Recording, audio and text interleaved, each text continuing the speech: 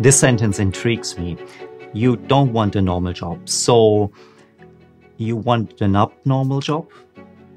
Of course not. What you really mean when you say, I don't want a normal job, is that there is a mismatch between what you currently experience and what you feel is right for you. And it appears that no normal job offers you a solution because you do feel stuck. So what we want to do in this video is move away from this mindset that doesn't offer us any solutions towards an action-oriented plan, something that helps us to live the life that we want to live without feeling stuck and restricted. And that solution is surprisingly simple. There is no single step to bring us from an overwhelmed person who is stuck in a job towards one who lives the dream career and the dream life. It is an iterative process, and that is what I dedicate this channel to. So, if this is the first time for you here, welcome to the community where we create courageous careers. And one thing that helps me personally is to connect to like minded rebels who don't want to be restricted by social norms. If this is you, subscribe to the channel and comment also with your story below because it's an inspiration for us all. It all keeps us moving along. Now let's dive into this simple solution and in order to do that, we need to understand why we feel the way we do, why you don't want to have a normal job. Here's what happens to most of us. You find a job maybe even a job that you like, based on your education, family, social pressures, or in the best of cases, your interests and strengths. Then you form an environment around it. After all, you need to live in a certain place to get to work and still have some free time left. Your co-workers and colleagues, they become your friends, and that's good. And maybe you deepen the ties now. Maybe you even find your life partner in this environment and you form a family. And all of us have hobbies and interests and our jobs pay for that as well.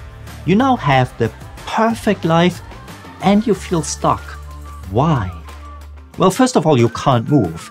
Your job requires you to stay in a certain place. Also, your friends are somewhat tied to the things that you do in life now. And you have responsibilities towards your family. You have to provide for them, so your job pays for that, as well as towards your own interests and hobbies. And even if you now decide or realize that the job that you're in or the career is no longer as satisfying as it used to be, there is nothing you can do about it. Because everything is tied to this one job, and that's where you are stuck. And this is where our solution comes in. In this example that we just looked at, your job acts like an anchor to everything else you do. But what if we could make your job a propeller instead. So let's figure out what type of environment you like to live in. And then maybe look at the type of friends that you wish to connect with. Personally, I love to connect with friends who click the like button because it's the easiest and simplest solution to spread this message further. Anyways, now we have to ask a different question. What type of career would support that link between the environment and our friends? And maybe you go a step further, you add your family to it. You ask yourself what line of work would help you to sustain the type of relationships that you want to have. You still have your hobbies and interests. And maybe the line of work can help you propel those interests forward as well.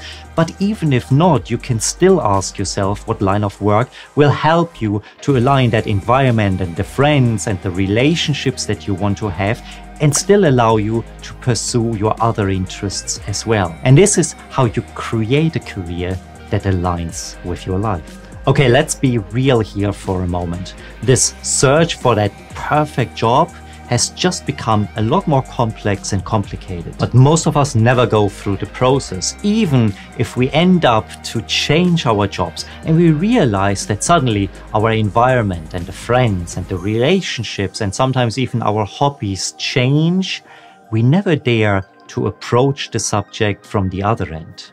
This is the simple solution though. I recently did a survey on LinkedIn asking people what they expect from a successful career. And interestingly enough, 70% of people didn't say they wanted more money or more time.